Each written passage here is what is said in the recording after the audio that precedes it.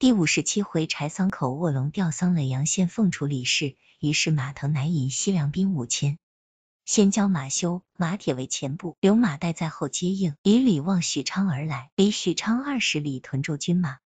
曹操听知马腾已到，唤门下侍郎黄奎吩咐曰：“目今马腾南征，吾命汝为行军参谋，先至马腾寨中劳军，可对马腾说。”西凉路远，运粮甚难，不能多带人马，我当更遣大兵协同前进。来日教他入城面军，吾就应付粮草与之。魁领命来见马腾，腾置酒相待。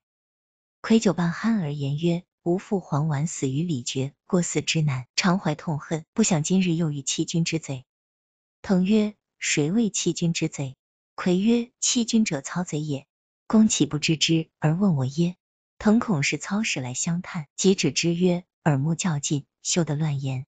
窥之曰：“恭敬忘却一代诏乎？”腾见他说出心事，乃密以实情告之。魁曰：“操欲攻入城面军，必非好意，公不可侵入。来日当勒兵城下，待曹操出城点军，就点军处杀之，大事既矣。”二人商议已定。黄奎回家，恨气未息，其妻再三问之。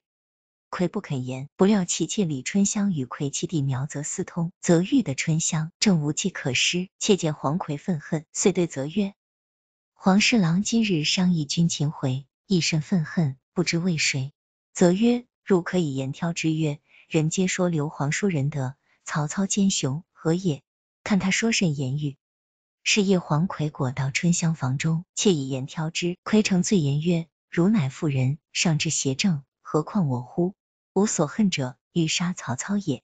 妾曰：若欲杀之，如何下手？魁曰：吾已约定马将军，明日在城外点兵时杀之。妾告于苗泽，则报之曹操。操便密唤曹洪、许褚，吩咐如此如此。又唤夏侯渊、徐晃，吩咐如此如此。个人领命去了，一面先将黄奎一家老小拿下。次日，马腾领着西凉兵马将次进城，只见前面一簇红旗，打着丞相旗号。马腾只道曹操自来点军，拍马向前，忽听得一声炮响，红旗开处，弓弩齐发，一将当先，乃曹洪也。马腾急拨马回时，两下喊声又起，左边许褚杀来，右边夏侯渊杀来，后面又是徐晃领兵杀至。截断西凉军马，将马腾父子三人困在垓心。马腾见不是头，奋力冲杀，马铁早被乱箭射死。马修随着马腾左冲右突，不能得出，二人身带重伤。坐下马又被箭射到，父子二人俱被执。曹操教将黄奎与马腾父子一起绑至。黄奎大叫无罪。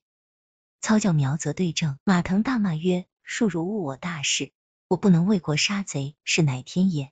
操命迁出，马腾骂不绝口，与其子马修及黄奎一同遇害。后人有诗叹马腾曰：父子齐方烈，忠贞著一门，捐生图国难，誓死大捐恩，缴血蒙言在，铸坚义状存。西凉推世胄，不愧福伯孙。苗泽告操曰：不愿加赏，只求李春香为妻。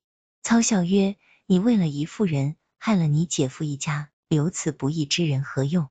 便交将苗泽。李春香与黄奎一家老小并斩于市，观者无不叹息。后人有诗叹曰：苗泽因私害近臣，春香为得反伤身。奸雄亦不相容恕，枉自图谋做小人。曹操教招安西凉兵马，谕之曰：马腾父子谋反，不干众人之事。一面使人吩咐把住关隘，休交走了马岱。且说马岱自引一千兵在后，早有许昌城外逃回军士报之马岱。待大惊，只得弃了兵马，扮作客商，连夜逃遁去了。曹操杀了马腾等，便决意南征。忽人报曰：刘备调练军马，收拾器械，将欲取川。操惊曰：若刘备收川，则羽夷成矣，将何以图之？言未毕，阶下一人进言曰：某有一计，使刘备、孙权不能相顾。江南、西川皆归丞相。正是。西川豪杰方遭戮，南国英雄又受殃，未知献祭者是谁？且看下文分解。